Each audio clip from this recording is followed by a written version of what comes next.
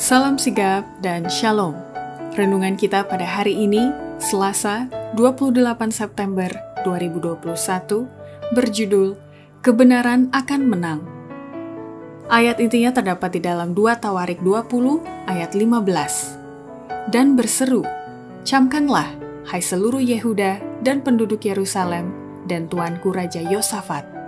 Beginilah firman Tuhan kepadamu, Janganlah kamu takut dan terkejut karena laskar yang besar ini, sebab bukan kamu yang akan berperang, melainkan Allah. Pena Inspirasi menuliskan yang dimaksud dengan judul renungan kita pagi ini, Kebenaran akan menang, sebagai petunjuk bagi kita bila mana ingin menjadi pekerja bersama-sama dengan Allah adalah sebagai berikut. Pertama, alasan kebenaran akan menang dikarenakan waktunya sudah singkat dan sudah tidak akan lama lagi kebenaran itu menang, gilang gemilang di akhir zaman ini. Akhir zaman sudah dekat, mendatangi kita secara diam-diam seperti pencuri yang tidak bersuara, mendekat pada waktu malam.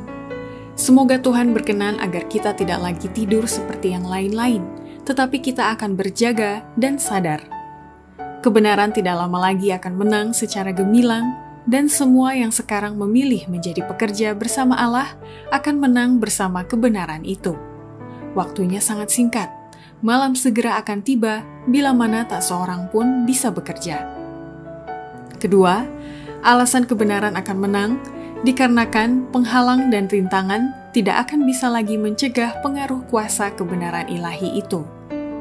Meskipun orang-orang yang dihampirinya menolak dan menganggapnya rendah, kebenaran tetap akan menang.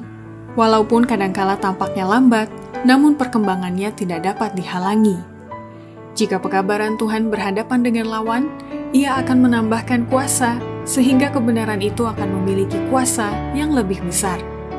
Dibantu dengan kuasa ilahi, kebenaran akan menembus setiap tembok yang kuat dan mengalahkan setiap rintangan. Ketiga, alasan kebenaran akan menang dikarenakan ladang-ladang di tetangga kita sudah masak dan siap untuk dipanen. Kebenaran akan menang dengan gilang gemilang. Biarlah gereja-gereja mulai melakukan pekerjaan yang diberikan Tuhan kepada mereka.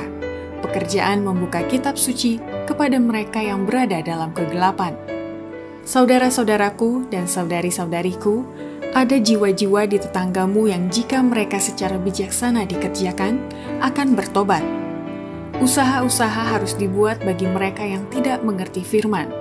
Biarlah mereka yang mengaku mempercayai kebenaran turut ambil bagian dalam sifat ilahi, dan kemudian mereka akan melihat bahwa ladang-ladang sudah masak bagi pekerjaan yang semua orang dapat melakukannya, yang jiwanya dipersiapkan oleh firman yang hidup. Keempat, alasan kebenaran akan menang dikarenakan kebenaran itu sendiri yang akan menerangkan firman kepada setiap orang yang mempelajari dan mendengarnya. Selidikilah kitab suci bersama mereka yang mau diajar.